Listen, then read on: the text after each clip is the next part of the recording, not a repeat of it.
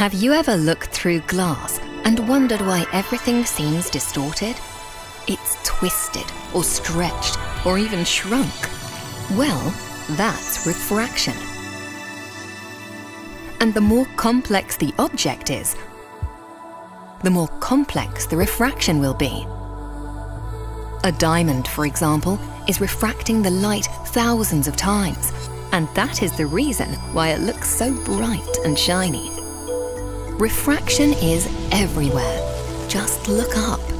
When sunlight passes through millions of water particles, each of those particles sends the light off in a different direction.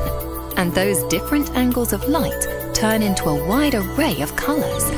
The result? A rainbow. Sometimes light both refracts and reflects, like in a soap bubble. Light refracts and reflects on the top of the bubble and then reflects off the bottom again as it passes through.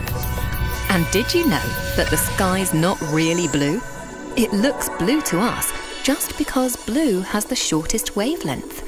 When white sunlight scatters in the Earth's atmosphere, blue becomes the most visible colour.